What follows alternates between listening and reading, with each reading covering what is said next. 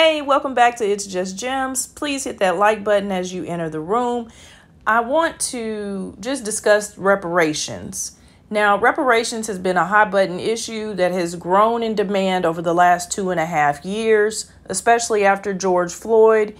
And even digging back into his past, his great grandfather had land stolen from him that could have generated generational wealth for his family and may have led to a whole different outcome for George Floyd. And we have so many stories like that all over the country, but reparations is being pushed at this point, even in different cities across the United States, where individual cities are coming up with a reparations plan for their Black American citizens because of what they've done in their particular cities. We have cities and states like Oregon where they totally eliminated their black population and pushed them out and made it illegal for black people to even live there. So there's that. Um, but we know California is the biggest state so far that is discussing reparations plans. But really, we need a federal rep- reparations plan because the government played a huge part in what took place to black Americans what has happened. There were laws in place that kept us from owning land, uh, black codes. They allowed white citizens to just come in, lynch black people, burn down cities, take over the land. And nothing has been done to repair the black community.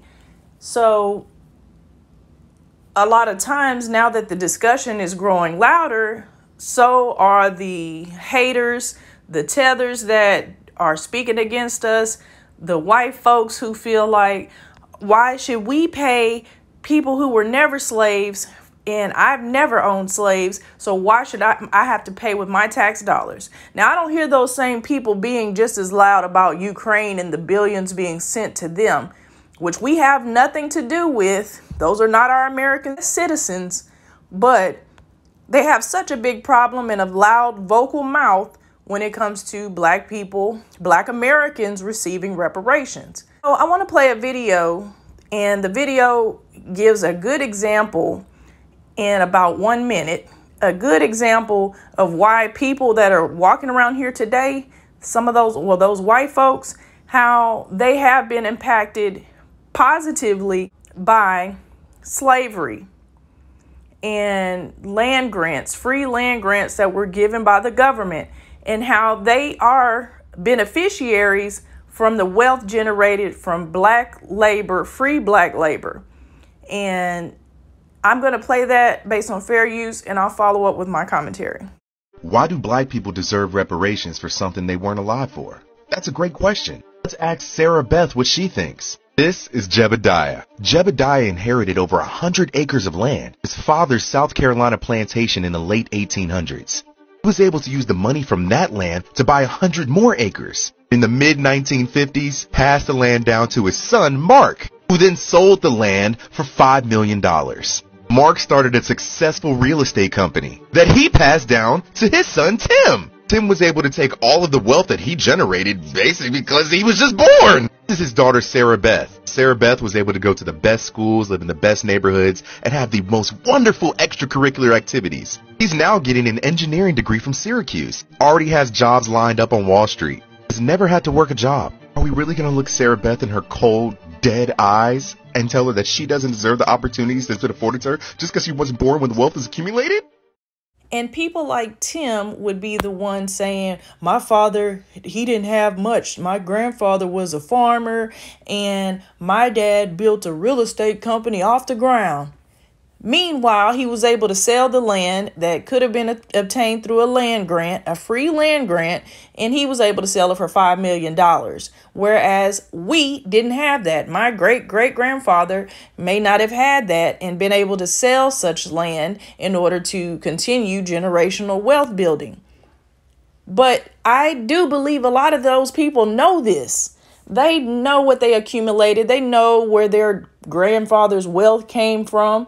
They know all of this, but they just play in our face because they don't want us to have a level playing field. If we have a level level playing field, we will excel.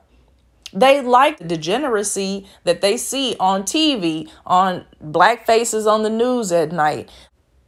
They are okay with black people being on the very bottom. They do not want to fail their ancestors by allowing black people to get ahead of them.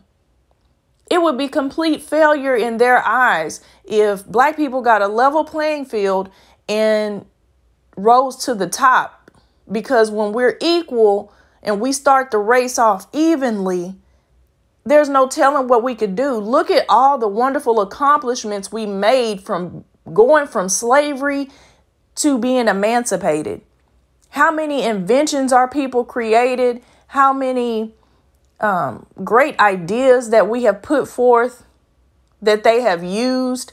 Even the music business and all of that, that is black wealth being generated. Even though it's going in somebody else's pockets, this is from our talent. We come up with so many different things that are awesome and are used today. Things that our forefathers have built, built and their intellectual property that's being used. Let me know what you think in the comment section. Make sure you hit that like button before you go if you haven't already. Make sure you subscribe to the channel. My analytics show that a lot of people are watching the video, but they haven't subscribed. So if that's you, make sure you hit the subscribe button. And until next time, peace.